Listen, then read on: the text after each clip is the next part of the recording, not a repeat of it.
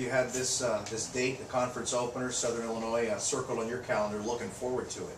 It's been circled, um, but you know, um, we started the season off with Penn State, and we really, you know, had it in our heads that we wanted to go one and zero every week.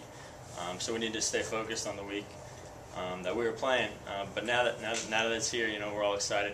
We're all ready to go. They're up at the top of the, the conference, picked to win again. They Mhm. won it last year.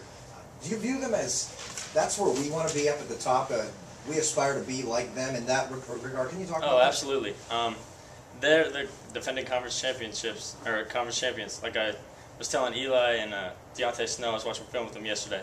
They're like the LA Lakers. You know, if the Lakers came out this season and lost five straight games, you know they're still the champions and they're the ones with targets on their back. And we, we do want to be like that. We do want to have that respect.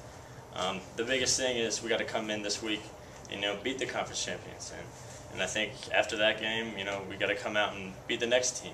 And that's that's what they did last year, and that's what we want to do this year. Kurt, it's been pretty vanilla offensively, running the football a little bit. Do you expect the playbook to open up a little bit this week because of conference play? Um, maybe a little bit. I think the biggest thing is we're going to take what they give us, um, and that's what we've tried to do every week. Um, the run game has been working well for us.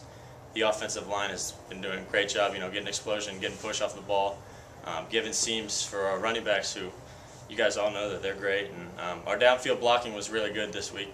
Um, the receivers were blocking, and that's what opened up the big plays. Um, if we have big plays um, in terms of the passing game, if, if that opens up for us, we're definitely going to be ready to take it. Any concern on your part that you really haven't thrown the ball down the field? I mean, Um, no, you know, we do it during practice. We've done it all summer. Um, I feel like I could throw the ball down the field if we need to. Uh, like I said earlier, if, if they give us that, then we'll take it.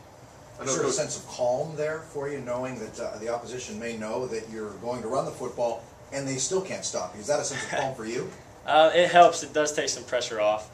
Um, but we, we want to be a balanced football team. And um, the best way that we can start our offense is, I think, running the ball. Um, we have that senior leadership on the offensive line. But we also have great receivers. And you know what? Some, some people just don't know about them yet. And some people may not know about me yet. Um, but I think we're confident as a group, um, collectively, um, as an offense. We do a great job um, running the ball. And I think people may be surprised when we start passing. What will they find out about the things that they may not know, you and the receivers? That we can play, we can make big plays. You've seen our running back make running backs make plays. You've seen Dom make plays, and there's other guys out there that can make plays, and they, they may just not know about him yet. Kurt, I know he's not your position coach, but you work, I'm sure, some with Coach Longo. Just how's he been? I know it's only Tuesday, but do you. Yeah. feel him a little amped up this week because he's Definitely, definitely. Um, me and him have talked about it before. I've talked about Southern Illinois, um, and he's with us now. He's on our coaching staff. Uh, he's definitely amped up, and we all need to be amped up. Like I said earlier, this, these are the conference champs, um, and the only way, you know, to to to to knock them off is to be the best that we've been so far. Do you talk to him a little bit more this week because he knows their personnel a lot better? Uh, maybe a little bit more. He's, you know, he's one of my good, good friend coaches. I think We- we've talked um, on a daily basis, and I think that you know maybe this week we may talk a little bit more. A couple of the guys have touched on this. Is this an opportunity for Youngstown State this season, this team, to, to make a statement against one of the top teams in the country? I think so, and I think we're all, you know, well aware of that. I think that we know these are the conference champs, and we have to give out our best week of practice that we've had so far, even better than we may have had for Penn State, Butler, and, and Central Connecticut State. We know that this is conference play now, and the biggest thing is we have to come out every week mentally prepared and focused, and that's that's how we're going to get the win. Kurt, are you surprised the way the conference has gone the first three weeks? I mean, some teams that maybe should have won got beat. I mean, Northern Iowa, um, just this past week, Southern Illinois. Um, I'm not too surprised because I, I compare our conference to the SEC or the Big Ten um, in terms of the FBS level.